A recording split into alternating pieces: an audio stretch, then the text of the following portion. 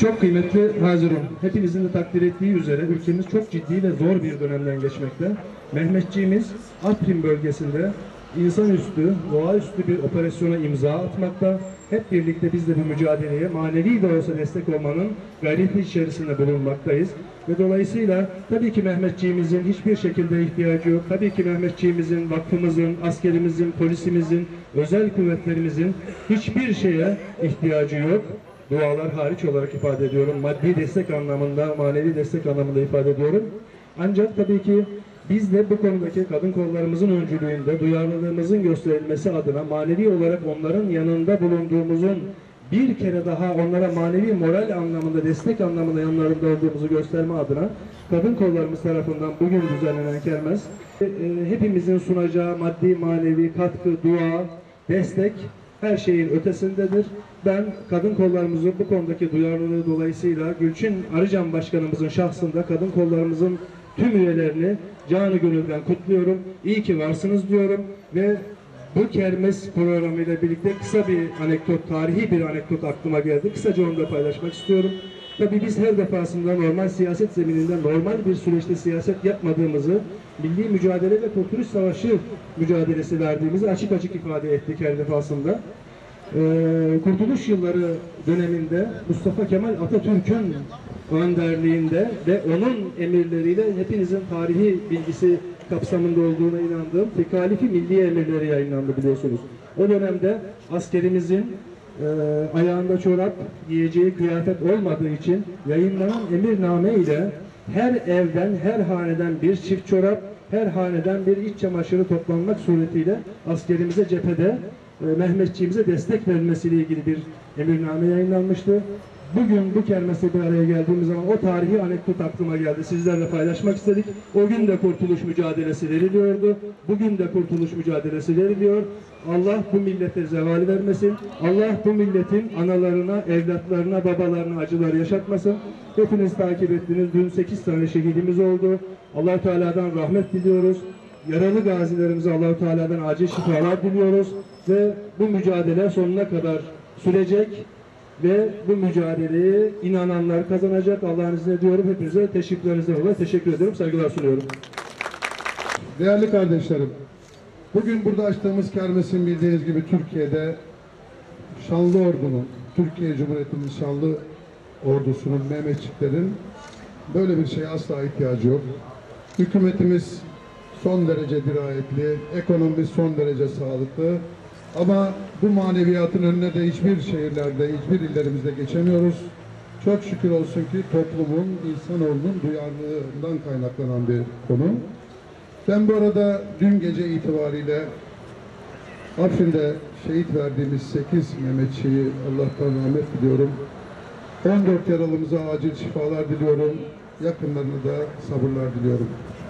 Değerli arkadaşlarım, dün pusuya düşürülen Mehmetçiğimiz bildiğiniz gibi bu hainler yıllardan beri Batı'nın ve Amerika'nın kontrolünde tüneller kazmışlar, mevziler kazmışlar. Orada da pusuya düşürerek 8 askerimizi şehit ettiler.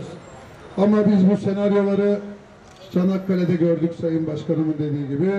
İnşallah bunları da bugün burada yedi düvelle savaşıyoruz aslında. Aynı Çanakkale'de olduğu gibi. Hepsinin üstesinden geleceğiz inşallah. Bu vatan hainlerine, komşu ülkelerinin topraklarını bölüp parçalamak, parselleyen isteyenlere, Avrupalı ve Amerikalı, kim her neyse bu vatanları bölmeye uğraşanlara burada kendi Türkiye Cumhuriyeti'nin kendi askeri, Mehmetçiği yine de bunlara bütün Çanakkale'de ne gösterdiyse burada da aynısını gösterecektir. Hiç kimsenin şüphesi olmasın. Artık kullandığımız bütün her şey yerli ve millidir.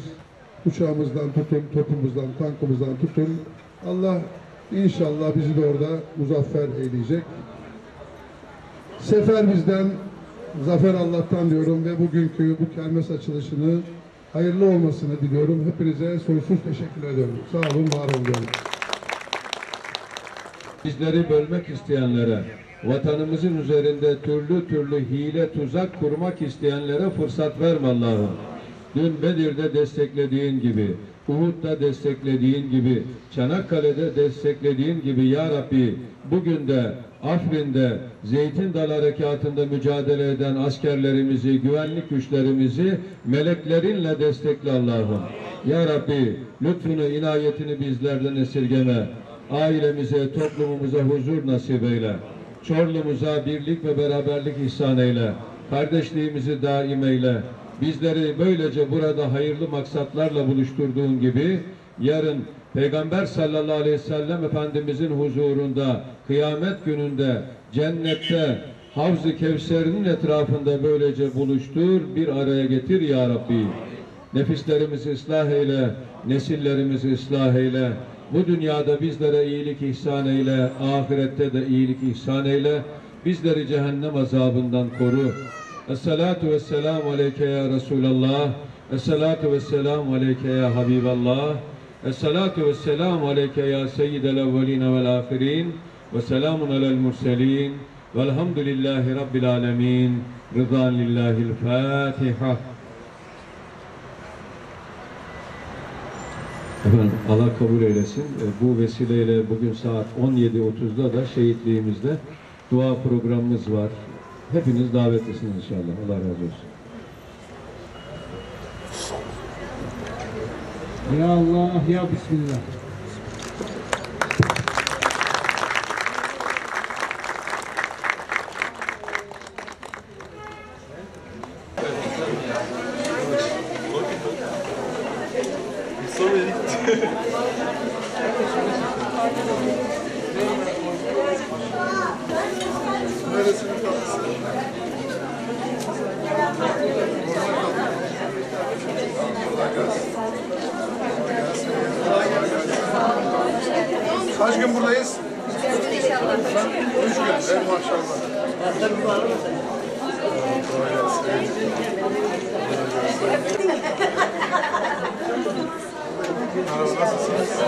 Teşekkür ederim. Evet bugün Çorlu ilçemizin hanımefendileri, bayanlarımız Afrin operasyonu ile ilgili Mehmetçiğimizin Afrin'de yaptığı operasyona destek amaçlı böyle güzel bir tabloyu bize sergilediler ve Sayın İlçe Başkanımın öncülüğünde bu kermesi yapmışlar. Şimdi şuradan girdiğimde baktım, duygulandım. Bizim Türk kadınımız cephede bir gün değil, binlerce gün kalsak askerimizi asla ve asla orada boş bırakmaz. Bu bir maneviyat aslında. Bizim Türk askerimizin, şanlı Türk ordumuzun böyle bir şeye ihtiyacı yok. Hükümetimiz zaten biliyorsunuz her konuyla ilgili bütün programlanmış vaziyetler. Yani askeriyle ilgili, operasyonla ilgili bütün her şey nizam ve intizam içerisinde gidiyor. Ama böyle bir maneviyatın karşısında da bizler e, duygulanıyoruz. Onlara bu güzel kermesten dolayı hepsine çok teşekkür ediyorum. Tabii e, ben Çorlu'da bütün halkın bu konuda duyarlılığını görmek isterim. İnşallah bunlar yavaş yavaş e, sirayet edecekler bütün mahallelerimizde, şehir merkezimize ve bu kermesler bütün illerde ve ilçelerde son derece e, güzel bir şekilde devam edecek. Ben buradan tekrar Çorlu halkının sevgili bayanlarına, saygıdeğer hanımefendilerine ve siz bu kermese öncülük yapan Sayın İlçe Başkanıma ve ana kademe ilçe başkanım kadın kollarıma da gösterdiğiniz ilgiden dolayı basın olarak da size çok teşekkür ediyorum. Hayırlı olsun diyorum. Biz teşekkür ederiz. Sağ olun. Sağ olun.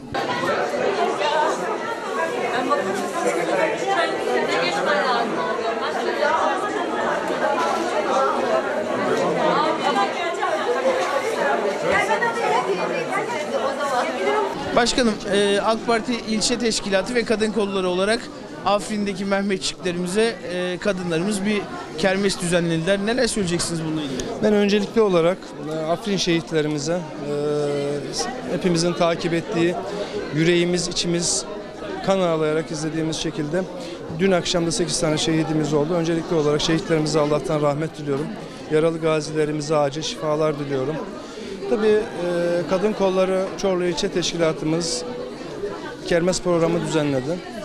Duyarlılığın ortaya konulması adına, manevi desteğin ortaya konulması adına yapılan bir çalışma. Ümit ediyorum ki Çorlu'muzda kadın kollarımızın öncülük yapmış olduğu bu hassasiyet, bu duyarlılık toplumumuzun bütün kademelerine e, yansır. Çünkü bugün birlik günü, bugün beraberlik günü. Ayrışmaya kesinlikle hiç kimsenin gitmemesi lazım. Millet olarak birliğimizi, beraberliğimizi muhafaza etmemiz gerekiyor.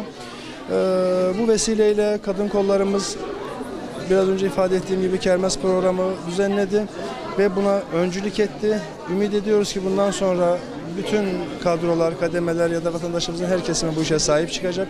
Ben Gülçin Başkanımı, e, Kadın Kolları İl Başkanı Nesibe Hanım'ı bu duyarlılıklar dolayısıyla tekrar kutluyorum. Kadın kolları üyelerimizi vermiş oldukları fedakarlık ve emekten dolayı e, tekrar tebrik ediyorum, saygılar sunuyorum. Teşekkür ederiz başkanım. Ee, AK Parti İl Kadın Kolları Başkanı olarak e, Çorlu'da düzenlenen kermese katıldınız. Neler söyleyeceksiniz bununla ilgili? Öncelikle bu milletin bekası için şehit düşen tüm askerlerimize Rabbimden cennet alanın en güzel makamlarını niyaz ediyorum. Gazilerimize acil şifalar diliyorum. Şimdi aslında şöyle bir şey var. Gerçekten bizim e, hükümetimizin, devletimizin bu tür etkinliklere, bu tür etkinliklerin getireceği maddi ihtiyacı yok. Bildiğiniz gibi TİKA aracılığıyla, Kızılay aracılığıyla e, hükümetimiz, devletimiz tüm dünyanın mazlum insanlarına yardım eden bir millet. Kaldı ki ülkemizde 3 milyona yakın Suriyelilere 5 yıldan beri bakıyoruz. Böyle bir şeye ihtiyacı yok ama bizler Türk anneleri olarak, Türk kadınları olarak istiyoruz ki bizim için, bu ülke için, vatan için, millet için sınırımızda mücadele eden genç askerlerimizin, yavrularımızın bizim de onların arkasında olduğumuzu bilmelerini istiyoruz. Biz 11 ilçede, Tekirdağ'ın 11 ilçesinde AK Parti Kadın Kolları olarak bu tür kermesler düzenliyoruz eş zamanlı 3 gün olarak. Buradan gelen geliri Allah izin verirse Afrin'e göndereceğiz. Afrin'de mücadele eden askerimiz bilecek ki Tekirdağ'daki, Trakya'daki ablaları, teyzeleri, anneleri onlar için bir şeyler yapıyor. Biz onların farkındayız, biz onların arkasındayız. Evet para olarak hiçbir şeye ihtiyaçları yok ama onlar bilecekler ki biz buradayız ama analarımız, teyzelerimiz de biz onların gönlündeyiz, aklındayız, dualarımızda olduğumuzu olduklarını bilmeleri için biz bunları yapıyoruz inşallah. Ayrıca e, ilçe ana kademe başkanıma, ilçe kadın kolu başkanıma ve tüm 11 ilçenin kadın kolları başkanlarıma sonsuz teşekkür ediyorum. Buraya gelen, ikramlardan alan, gönlünden kopanları veren tüm vatandaşlarımıza sonsuz teşekkür ediyoruz. Gün birlik günü, beraberlik günü inşallah hep beraber vatanımızın, milletimizin arkasındayız. Sayın Cumhurbaşkanımızın dediği gibi. Evet bugün ihtiyaç yok ama bir gün bir ihtiyaç olursa biz de askerlerimizin yanında bize ne görev düşerse o görevi gönlümüzle, canımızla, kanımızla yapmaya hazırız. Çok teşekkür ediyorum geldiğiniz için. Onur verdiğiniz ayaklarınıza sağlık. Biz teşekkür ederiz. Sağ olun. Öncelikle Afrin'deki e, şehit düşen Mehmetçiğimize Allah rahmet eylesin diyorum. Ailelerine sabır diliyorum. E, bizler Mehmetçiğimizin yanındayız. Her, dam, her daim de yanında olduğumuzu göstereceğiz. E, kadınlarımız e, ellerinden ne geliyorsa yaptılar. Manevi olarak yani bu ne kadar yeterli olur? Tabii ki devletimiz sonuna kadar yanında onların. Hayırlara vesile olsun diyorum kermesimiz. İnşallah güzel olacak. Allah razı olsun. Ayaklarınıza sağlık. Sağ olun. Te-